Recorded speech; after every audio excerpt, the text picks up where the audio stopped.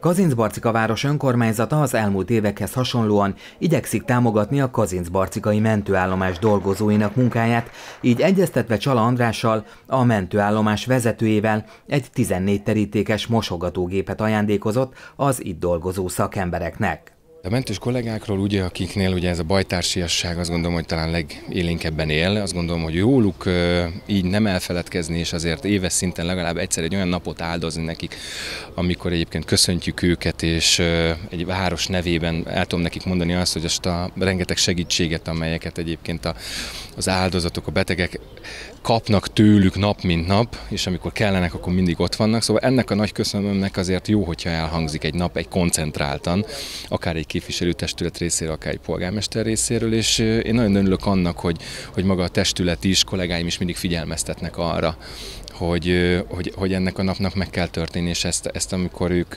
összejönnek, és ez nagyon jó kedéllyel állandóan együtt vannak, akkor, akkor ennek kellő komolyság részében elmondjuk azt, hogy, hogy nagyon szépen köszönjük azt, hogy ők vannak nekünk, és nap mint nap segítik a, a város és a környező település lakóit, amikor bajban vannak. 1887. május 10-én alakult meg Budapesten az Önkéntes Mentőegyesület Kresz Géza fővárosi kerületorvos kezdeményezésére.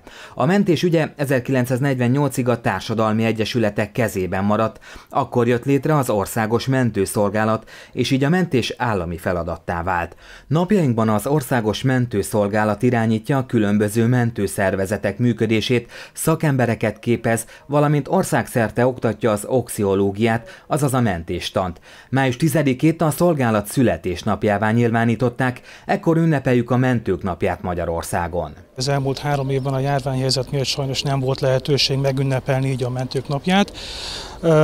Különösen fontos ez az év, hiszen a Magyarországi Szervezetmentés 135. évfordulóját ünnepeltük május 10-én. Ez a lehetőség egyébként rendkívül felemelő érzés mind a részemre, mind bajtársaimnak egyaránt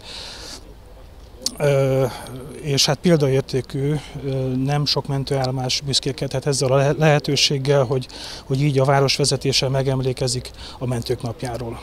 A jeles alkalom kapcsán a kazincbarcikai mentősöket ünnepelték, így Szendrei Péter mentőtiszt és Csala András mentőállomás vezető mentőtiszt kapta a Kazincbarcika város polgármesterének elismerő oklevelét.